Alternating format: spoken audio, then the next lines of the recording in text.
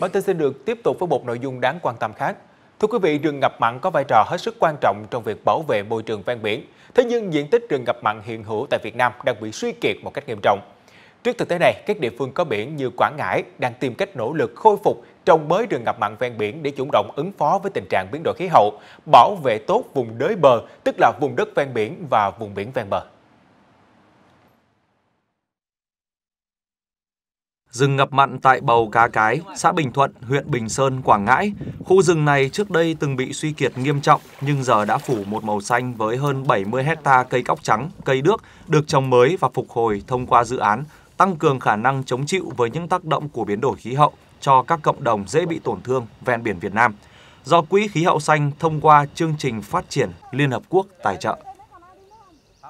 Rừng cây này là đổn bổ về cái chén gió để bổ vệ được cái môi trường sinh thế ở đây, làm cho bà con là hết sức phấn khởi. Khi mà có cái dự án này là bà con cũng ờ, mừng và mình sản xuất nó cũng được ờ, là thuận lợi hơn. Trồng rừng này lên được nhiều đó là nó chén được cái cái cái cái cái, cái sáng biển đó sóng biển hồi kia biển động đó là nó vô là nó không ảnh hưởng cái lúa. Nó phát triển cái lúa được chứ hồi kia là những cái lúa mà trổ lên là cái cái cái không có cái cây này nó chán ấy, là cái cái cái bông lúa nó bị ảnh hưởng nên nó bị hư Quảng Ngãi trước đây có diện tích rừng ngập mặn lớn nhưng do nhiều nguyên nhân khác nhau, diện tích rừng ngập mặn bị thu hẹp nhanh chóng. Từ năm 2014, địa phương này đã bắt đầu triển khai trồng, phục hồi hàng trăm hecta rừng ngập mặn ven biển, coi đây như một nỗ lực để cùng với các địa phương trong cả nước thực hiện có hiệu quả mục tiêu giảm phát thải khí carbon đạt mức bằng không vào năm 2050 như Việt Nam đã cam kết với quốc tế. Tỉnh cũng sẽ chỉ đạo cho các địa phương ra soát đánh giá lại ờ, đối với các cái cái cái chúng ta gọi là các, các tiềm năng với những nơi mà có cái điều kiện thế này để chúng ta uh, kiến nghị với trung ương kiến nghị với cái, với bộ nông nghiệp và nông thôn cũng như bộ nguyên môi trường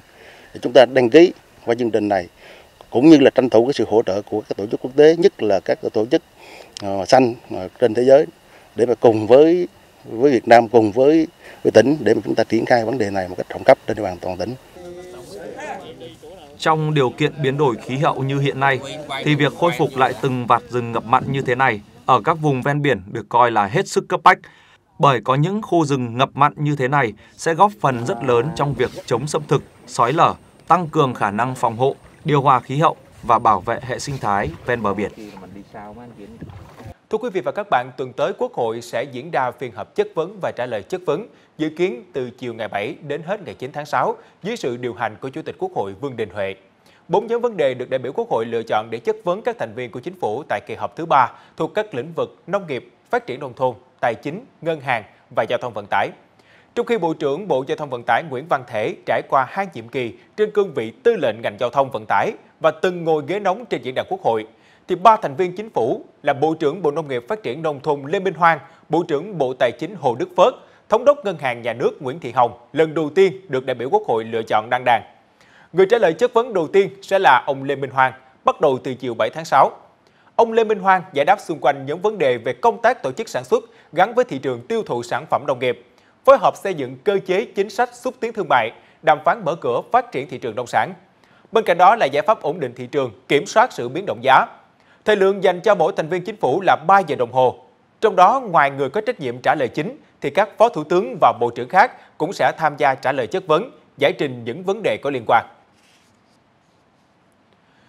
Kính thưa quý vị, sáng nay, Diễn đàn Kinh tế Việt Nam lần thứ tư với chủ đề xây dựng nền kinh tế độc lập tự chủ gắn với hội nhập trong tình hình mới đã được tổ chức tại thành phố Hồ Chí Minh. Với 3 phiên thảo luận chuyên đề, một phiên toàn thể, đối thoại chính sách cấp cao với sự tham gia của khoảng 600 đại biểu. Diễn đàn sẽ là nơi để các nhà làm chính sách, nhà làm quản lý, các chuyên gia, nhà khoa học trong nước và quốc tế cùng thảo luận.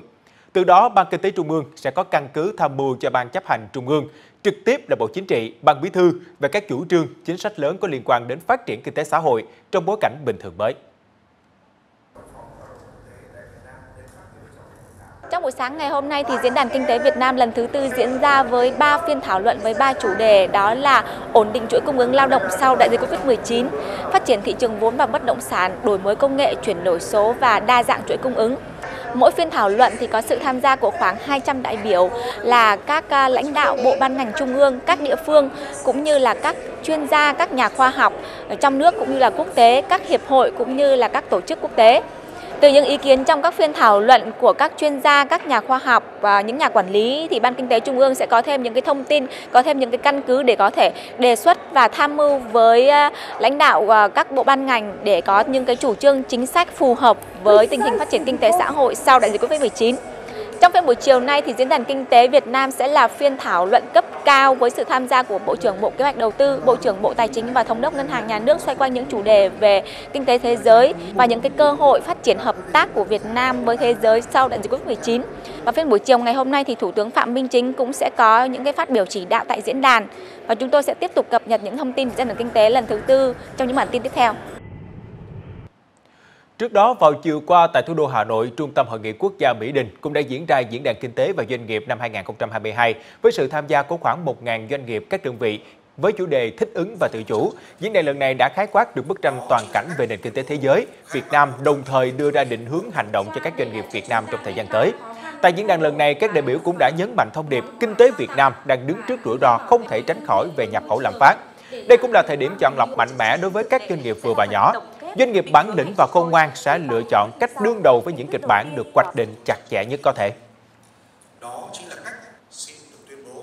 Thưa quý vị, hơn 200 hội viên đại diện từ 31 chi hội phụ nữ Việt Nam trên khắp Cộng hòa Séc vào tối ngày 3 tháng 6 theo giờ địa phương đã trở về trung tâm thương mại Sapa, thủ đô Praha để tham dự giả vũ mùa hy vọng do Hội Phụ nữ Việt Nam tại Séc tổ chức.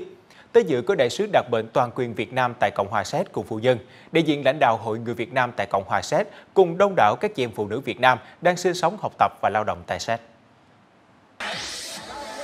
Dạ Vũ Mùa Hy vọng là hoạt động văn hóa văn nghệ do Hội Phụ nữ Việt Nam tại Cộng hòa Séc tổ chức nhằm khôi phục lại các hoạt động của hội sau 2 năm bị gián đoạn bởi đại dịch Covid-19. Bên cạnh việc tôn vinh vẻ đẹp của phụ nữ Việt Nam, đây cũng là một sân chơi để các thành viên trong hội có dịp được gặp gỡ, chia sẻ niềm vui, sở thích văn hóa văn nghệ và khiêu vũ sau những ngày lao động vất vả. và chương trình của chúng tôi năm nay là được tổ chức đầu tiên là với mục đích là để cho các chị em của 31 câu lạc bộ trên toàn Cộng hòa Séc được à, gặp gỡ giao lưu với nhau sau 2 năm dài vì à, gián đoạn vì Covid. Tên của dạ Vũ là mùa hy vọng tức là những, sau những cái mà mất mát, những cái đau thương, thì một cái tên rất là để cho là chị em là vươn lên vươn lên một cái tương lai tươi sáng. Chúng ta sẽ bắt đầu cuộc sống lại bình thường, bỏ lại sau lưng tất cả những cái của đại dịch. Phát biểu tại buổi dạ hội, Đại sứ Thái Xuân Dũng đã gửi lời chúc mừng Hội Phụ nữ Việt Nam tại Séc và bày tỏ sự ngưỡng mộ, đánh giá cao sự đóng góp của người phụ nữ vào sự lớn mạnh của cộng đồng người Việt Nam tại Séc, đồng thời khích lệ các chị em tiếp tục phát huy tinh thần đoàn kết, vượt khó và có đóng góp nhiều hơn nữa cho sự phát triển của Hội Phụ nữ nói riêng và cộng đồng người Việt Nam tại Séc nói chung. Hưởng ứng câu hỏi của Đại sứ quán của Hội người Việt Nam tại Cổ Séc, Hội Phụ nữ Việt Nam tại Séc đã có những đóng góp thiết thực, ý nghĩa đối với người dân và chính quyền các địa phương ở trong nước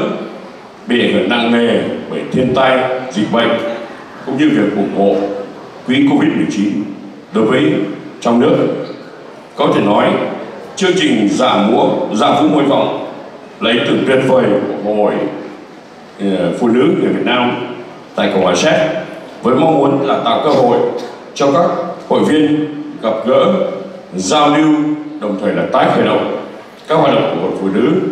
người Việt Nam tại Séc sau mùa dịch. Tôi tin tưởng rằng sau cuộc gặp ngày hôm nay, Hội Phụ nữ Việt Nam tại Cộng hòa Séc sẽ trở lại mạnh mẽ hơn nữa, có nhiều hoạt động ý nghĩa hơn nữa, có đóng góp nhiều thiết thực hơn nữa và ý nghĩa hơn đối với sự đoàn kết của Hội người Việt Nam, Hội Phụ nữ Việt Nam tại Séc nói riêng cũng như là cộng đồng người Việt Nam tại Séc nói chung. Đối với các chị em phụ nữ ở nước ngoài nói chung và ở Séc nói riêng, khi phải sống xa quê hương thì gánh nặng trên vai dường như tăng lên gấp đôi. Ngoài công việc kiếm sống mưu sinh vất vả nơi đất khách quê người, các chị em còn phải cố gắng trong việc dạy dỗ con cái, hòa nhập xã hội cũng như giữ gìn văn hóa bản sắc dân tộc cho các thế hệ sau. Khó khăn là vậy nhưng mỗi chị em vẫn luôn cố gắng hoàn thành tốt vai trò trong gia đình và gìn giữ được hình ảnh đẹp người phụ nữ Việt Nam.